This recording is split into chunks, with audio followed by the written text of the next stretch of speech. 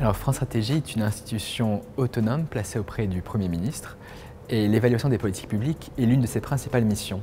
Concrètement, nous pilotons des comités d'évaluation à la demande du gouvernement sur des politiques qui ont été mises en œuvre et qui touchent à des sujets aussi divers que l'emploi, l'innovation, les inégalités sociales ou encore euh, l'impôt sur la fortune. Et nous cherchons à chaque fois à estimer l'impact euh, en termes de pouvoir d'achat par exemple, euh, de conditions de travail, d'accès aux droits sociaux ou encore d'investissement des entreprises. Pour garantir la robustesse de ces travaux d'évaluation et l'indépendance de leurs conclusions, euh, nous associons dans ces comités euh, des partenaires sociaux, des administrations publiques, mais aussi des parlementaires. Nous associons aussi des experts, des équipes de recherche, des collectivités territoriales et parfois même des citoyens, comme dans notre comité qui évalue en ce moment même euh, la stratégie de prévention et de lutte contre la pauvreté. Au-delà de ces comités d'évaluation, France Stratégie mène une réflexion et un débat permanent euh, sur les enjeux, les méthodes et les usages de l'évaluation.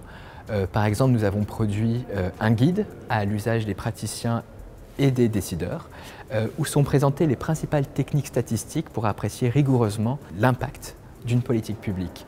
Nous organisons aussi des séminaires avec différents partenaires comme l'INSEE, les ministères, l'Assemblée nationale ou, des laboratoires de recherche.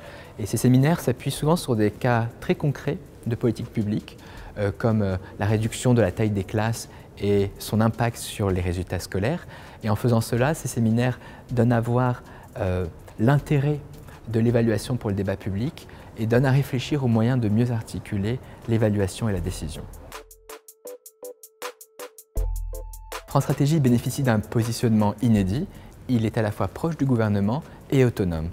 Euh, dès lors, ces travaux d'évaluation euh, peuvent être conduits de façon impartiale et rigoureuse et à la fois trouver un écho plus immédiat auprès de l'exécutif, des parlementaires et plus généralement des pouvoirs publics. Si nous associons dans nos comités d'évaluation diverses parties prenantes, comme les partenaires sociaux, les administrations ou les experts, euh, c'est précisément pour produire des statistiques, euh, des analyses et des recommandations qui soient les plus pertinentes possibles pour, euh, pour les décideurs. Mais nous sommes conscients aussi que les évaluations, même les plus robustes, ne sont pas toujours utilisées par les décideurs. Et l'ensemble des acteurs de l'évaluation en France comme partout ailleurs dans le monde le savent. En effet, les évaluations s'inscrivent souvent dans le temps long, là où la politique s'inscrit plutôt dans l'urgence.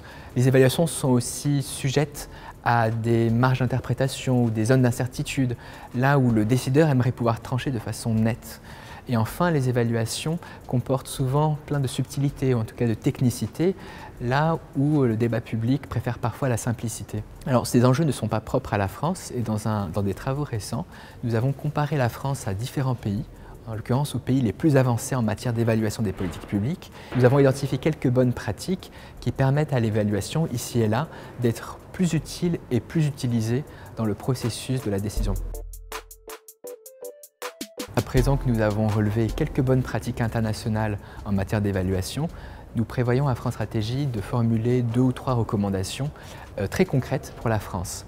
Nous serions heureux d'associer euh, à cette réflexion le Conseil économique, social et environnemental, et notamment pour réfléchir aux moyens de rendre les évaluations plus systématiques, euh, de mieux cartographier les besoins des décideurs, ou encore de rendre les conclusions des évaluations bien plus intelligibles pour tout lecteur. Nous pourrions aussi continuer à associer le CESE dans l'élaboration de notre programme de travail, comme nous le faisons chaque année. Et dans l'immédiat, nous pouvons aussi nous retrouver euh, aux premières rencontres de l'évaluation à l'Assemblée nationale. Ces rencontres ont vocation à rassembler chaque année des parlementaires, des chercheurs, mais aussi des citoyens sur les enjeux de l'évaluation des politiques publiques. Et cette démarche est très clairement dans l'ADN de France Stratégie.